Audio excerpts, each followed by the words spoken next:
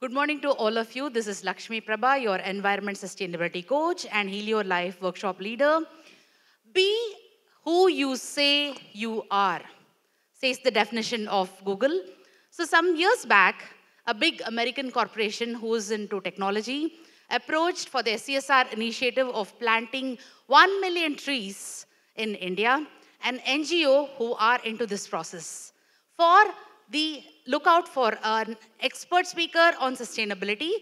This NGO then approached a citizen organization who are in this field for more than 10 years, working only towards the civic communities, civics for the citizens, by the citizens, to the citizens.